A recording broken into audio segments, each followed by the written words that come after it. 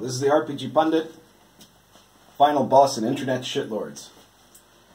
And you know, today I had a I've had a very complicated couple of weeks these last few weeks, a lot of things going on, nothing to do with gaming, but other other things I have to take care of that have been a lot of work. And uh, got a a bit of a headache today, probably from not enough sleep.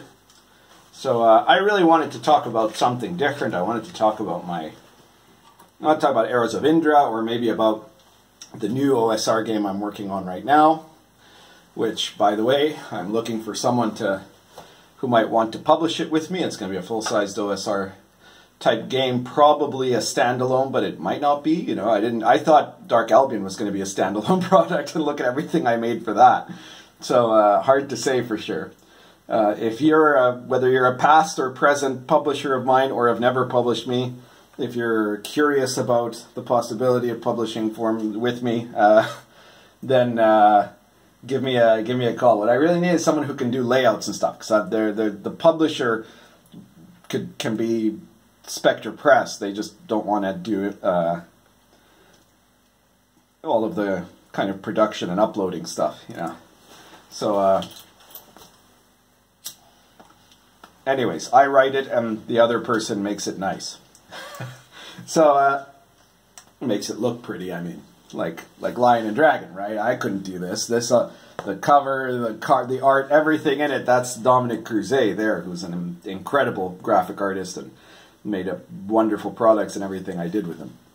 Anyhow, um, but I'm not going to really talk about those things. Instead, I find myself stuck having to talk about Wizards of the Coast because uh, if you were watching Inappropriate Characters this past week on, on Sunday, we commented about this.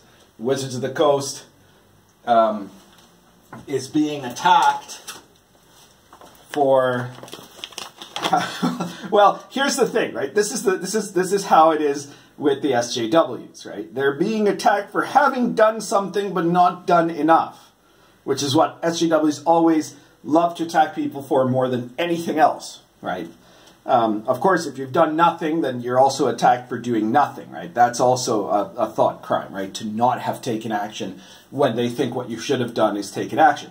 But if you take action and that action um, is not to their to them, you know what what they really want from you, then it's never going to be enough of an action. And the problem comes if you're one of the people and things that they, what they really want is for you to not exist anymore, right? Because then nothing you do, nothing will ever, ever be enough, right? There's not, not, not, no accommodation you can make that they will think is, is good enough. It will always just be proof, even more proof of how you have to be completely destroyed, right? Or completely um, removed because of your problematic nature, right? So, Wizards of the Coast had said something back, you know, when the when the BLM protests slash Antifa riots were starting. Um, they had said something about Black Lives Matter, and of course, the SJW crowd um, went at them saying that this wasn't enough. And then there was there was even some of the SJW people that they had hired specifically to, like, I mean, uh, I'm not going to doubt that this is true. The, the people themselves are now saying they were hired specifically as diversity hires to try to satisfy the um, the wolves at the door, right? And and I suppose that that's very possibly true, right? It's very possible. So, but now some of these people quit as an act of resistance against the evil of Wizards of the Coast for daring to say Black Lives Matter, but not to say it right enough, right? and uh, and so Wizards then, you know, the the Oriental Adventures thing happened, which I've talked about in my previous video here, where they claimed that Oriental Adventures, a, a product that was made, what is it now, uh, 34 years ago, more, it's hard hard for me to remember, but uh, they, uh, unlike Joe Biden here, they uh, they had decades that was made decades ago by a totally different company, but that they just happened to have on a print on demand. they they were saying that this is proof that all D and D everywhere is racist because it has some uh, Oriental stereotypes in it, which is nothing like the D and D Western fantasy settings, you know, like Greyhawk and the Forgotten Realms, which are absolutely full of also you know Western medieval stereotypes. Right? They're not this this is Western medieval stereotype. This is real medieval, right? So like the stereotype from the movies and the shows and whatever else, right? That from the from the from the dime store novels and from comic books. Um, yeah, that's what all D and D settings are. D and D settings are not authentic. At least there, there never has been one that's been really authentic.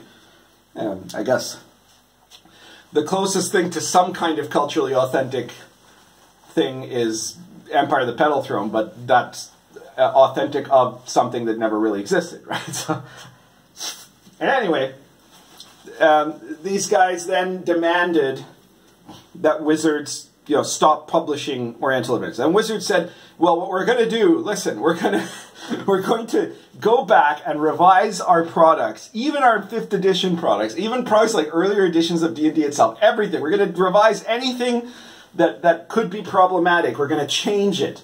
Um, but we're also and and then for the like the legacy products, we're going to put this big disclaimer that says this is you know like problematic material that that was made, and you know so that people so no one accidentally buys it, right? Um, and uh, and and they're like, oh please please stop being mad at us on Twitter, you two dozen people that are mad on us mad at us on Twitter.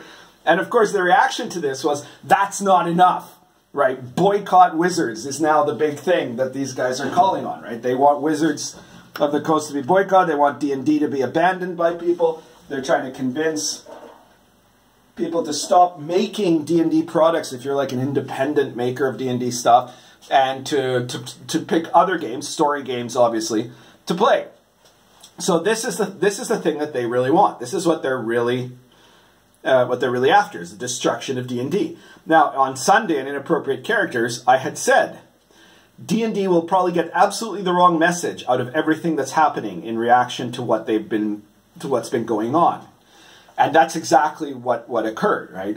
What they should have realized is we will never be able to placate these people. And they should also have taken a good hard look at the real numbers of what you see on Twitter and other social media. It's almost all entirely Twitter. Right? I'm sure there's some people on Facebook that are also complaining and then probably at like the perverted depths of, of SJW social media, you know, stuff like Tumblr or whatever. I don't know. I don't know where they go anymore. I think Tumblr actually is porn free now, but but wherever they go uh, for the for the weirder shit, you know, that's that's where they're also complaining. Probably on somebody's private Discord or something like that. But it's all the same tiny group of people. It's like at at most like a hundred people who have been the the the the cancers on the on the skin of role playing since yeah the time of the that of, of uh, RPGNet. You know, like these are the, these are all the same. Um, ridiculous people who are all a combination of pretentious story gamer and now new devotee of social justice. They've always been, you know, lefty liberal because that's always been trendy in their in their subculture. But uh, obviously, they got on board the social justice train when they saw how effective it could be for as a means for them to obtain power and attack other people, which is all they really like doing. So the, the message Wizards should have seen was the response that was much bigger than the, than the criticism anywhere that it was posted outside of this like tiny sphere, this tiny bubble of Twitter SJWs, of Twitter leftists. They should have seen that that that the response was basically to tell these these these these guys to fuck off, right? Like they, they had no interest in the SJWs, and the, and and the even bigger response in the general D and D community is silence because most people, if you do a even on Twitter, most people, if you do a, a Twitter search for the D and D hashtag, it's mostly just you know. Um, teenagers and 20 somethings talking about their characters or people posting their dice or whatever, right? And it's probably the same on Facebook and on Instagram and on, on everywhere else, right? Um, not, nobody cares, right? The we, we know statistically that the SJWs are only about 8% of the human population. The problem is that they're not spread out evenly across the globe, right? And in a place like Seattle, they're obviously a much bigger portion of the human population, right? Like they're people who actually believe this this bullshit are, are a large proportion of the people in Seattle where Wizards of the Coast is. So Wizards um, is is vulnerable to being in its own bubble of thinking that these people are people of influence that have to be obeyed or or something bad will happen. What what bad thing will happen, Wizards? Do you really think that someone's going to make a woke competitor to D&D that's going to do better than D&D? That's going to, you know, because obviously everybody's just been playing D&D while they waited for someone to come out with an RPG that's all about teaching you how how privileged you are, you know, or that's all about, you know, uh, not actually going on adventures, but instead having like struggle sessions about social justice issues so that you as the player will learn more about uh, you know Marxism, right? That's what people want to play. Right? No, they don't want to play D and D, right? So like, it's just it's just ridiculous that that you guys keep surrendering to these people, right? And you're gonna and they're gonna do it again, probably. They're probably gonna do it on yet another show. They're gonna find some other. They're gonna find some other thing that they can do. And I can tell you, the SJWs will once again say that is not good enough because their good enough is that you stop existing. They hate D&D. They hate Wizards of the Coast. They, they despise everything that the RPG hobby currently is. They've been trying to destroy it and rebuild it into something different since the days of the Forge, right? Since, to, like, for 20 years now. What they've hated is the hobby as it is. And they want it not to exist anymore. And the, the hobby as it is are the people that, that write your checks, wizards, right? And that, and that write a tiny drop of Hasbro's checks in the larger sense, right?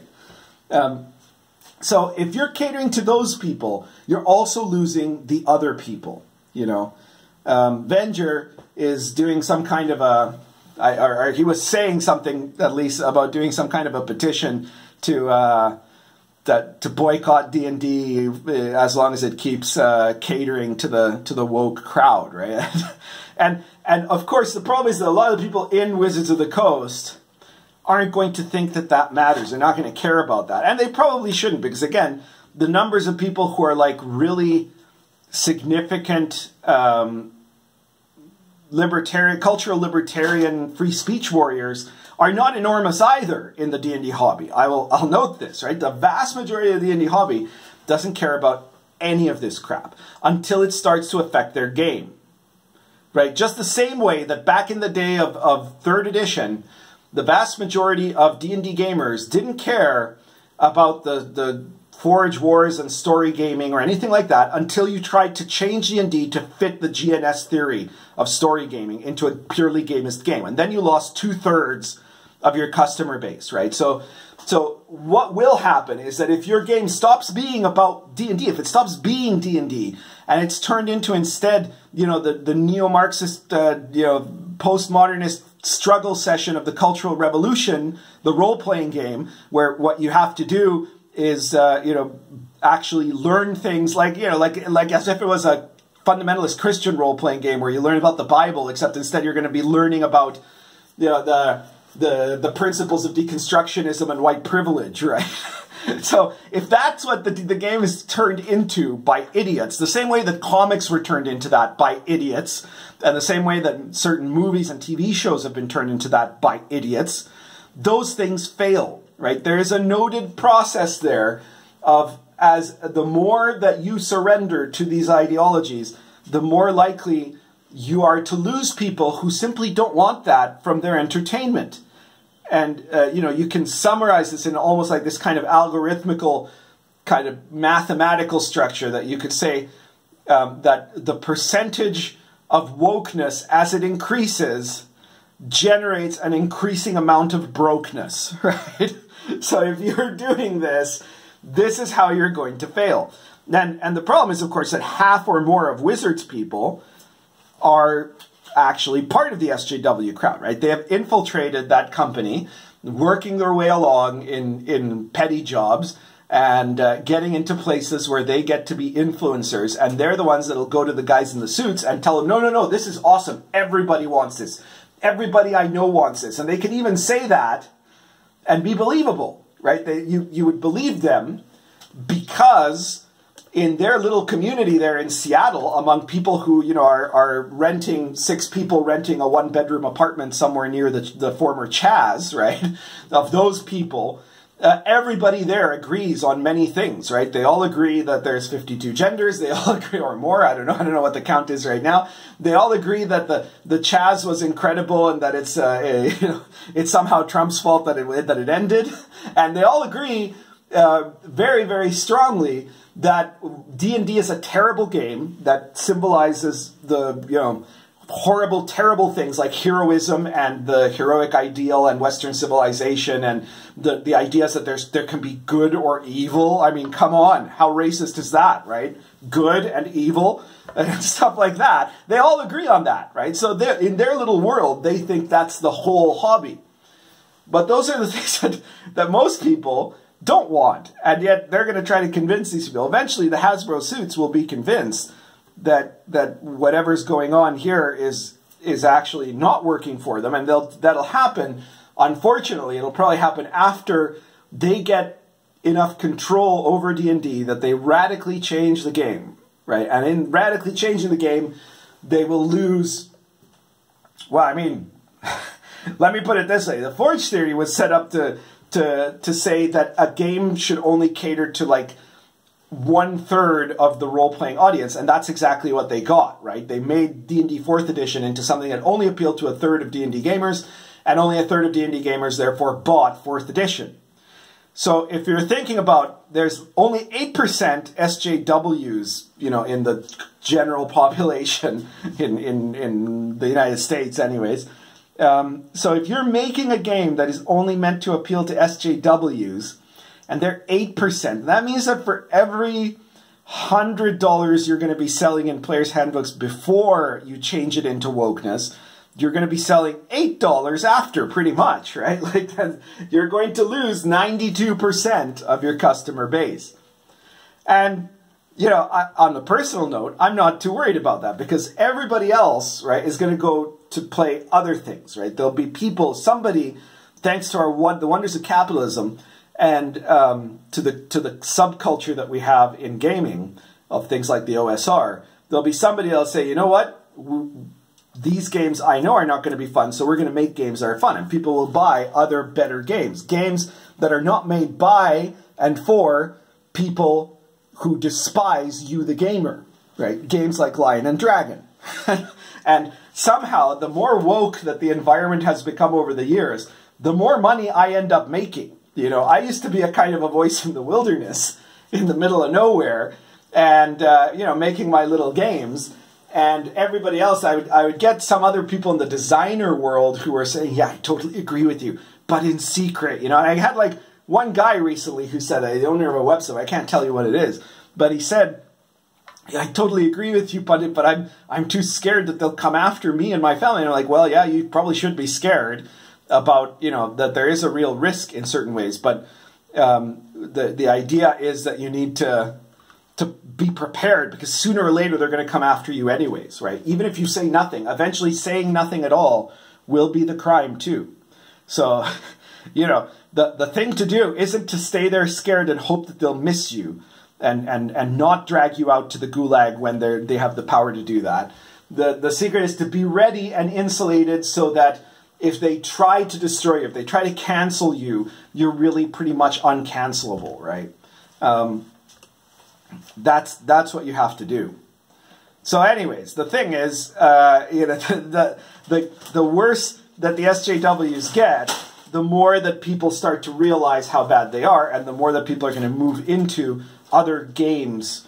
And just like you know, Pathfinder and the OSR um, were booming as a result of fourth edition. If the next edition of D and D is written by the likes of people like you know Crawford and Perkins, then uh, I'm I'm fairly certain that it's going to be a really good time for independent OSR designers who are going to be doing really well on all the people who are not going to be buying Hasbro's products. I sure hope somebody at Hasbro is listening to this somehow and ends up picking up this warning. but, uh, you know, uh, odds are they're not going to, and odds are that instead they're going to dive right into this ideology and watch it wreck a valuable intellectual property of theirs. because uh, really, at this point, internally, there's nobody to stop it. Anyway, that's it for today. If you like this video, please share it, um, subscribe, and hit the, the, the like button and hit the subscription bell. Um, share the video anywhere you think it'll do any good, whether that good is informing other people who who value this sort of stuff, or whether you think it's uh, going to piss certain people off. And uh, if you like what I do, then you can please feel free to support me, and uh, you can support me on Patreon or or PayPal. And I do thank the people that that, that do that. But if you want to support me and you want to get something back, then I suggest you take a look at my products, whether it's my my big, you know, uh, main RPG stuff like Lion and Dragon, Dark Albion, um, my RPG supplements like uh, the Old School Companion, um, Arrows of Indra, and uh, the other, you know, Cults of Chaos. Or if you want um, for to, to spend a little less money, but to get something interesting, and you're sending me a tip, you could say, be sure to check out the RPG Pundit Presents series. We've got 101 issues of RPG Pundit Presents, including episode issue 100, which has been really a big seller, which is uh, Star Adventurer, which is 9.99 in print and PDF, and it's a it's a complete OSR space opera RPG. And RPG Pundit presents 101, which is Tamlane, which is an exciting medieval authentic fantasy adventure for your OSR game, whether it's Lion and Dragon or any other OSR game or any other D&D derived game, um, that is based on a re real medieval fairy folk tale. So it's really cool. Check that out. Check out, if you don't like those, to check out any of the other 99 issues. You can get them all for in between 99 cents to 4.99, except for Star Adventure, which is a little bit bigger and it's in print. Um, but you're you're getting something interesting, something that you like, and you're sending me a tip in return. So that's one of the best ways to do it. But uh, thank you very much for listening. Thank you to everyone who's already purchased uh, a lot of stuff because every time every time I make a video, there's a, a ton of of uh, people that that obviously go out and pick up RPG Pundit Presents issues, and I thank you for that. And of course, they pick up my products, my my bigger products, and I keep getting you know there's nothing that I like more than when I like get a message somewhere, whether it's um, a DM on Twitter or a message on, on, on the Facebook page or something like that, saying, "Oh, I I just got you know they, I just got the hardcover version of Lion and Dragon. I like it so much, right? Or I just picked up the uh, Dark Albion alternate cover on Lulu or, or stuff like that, or, or hey, I checked out Star Adventure. And even if there's, you know, even if, if, a person is critical about saying, oh, why didn't you include like starship making rules? And I'm like, well, I don't think that's very space opera. And he's like, I disagree, right? Someone just did a video about that where they, they there's a video somewhere on YouTube. I don't remember where and uh, what what the channel is called, but um, there was a video review of, of Star Adventure, um, which was generally fairly positive, except the guy just kind of read through it at the, like he was reading it as he was doing the review. He didn't pre-read it, which as a reviewer, let me tell you, you got to pre-read the products. Otherwise you're going to, you're going to mess things up. You're going to be inaccurate about certain things, and he was. Uh, but generally he liked it, but he didn't like that it didn't seem to have any um, starship creation rules, which it doesn't. It has really cool, you know, space opera, starship, space combat rules. It has that. And then it has like guidelines for very simple ways to make the the starships, right? Like there's just you, there's stats and you pick them depending on what type of spaceship you have. There's no like point buy system.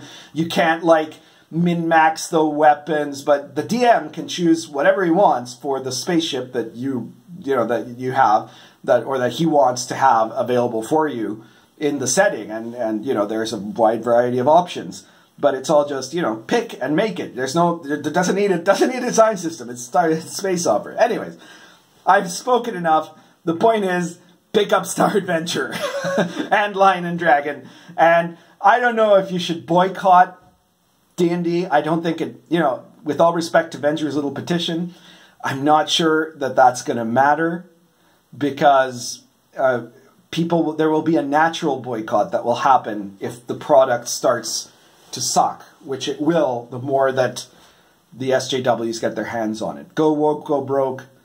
is pretty much a rule of economic nature at this point. so that's it for me. Currently smoking um, Neerup poker and Argento Natural.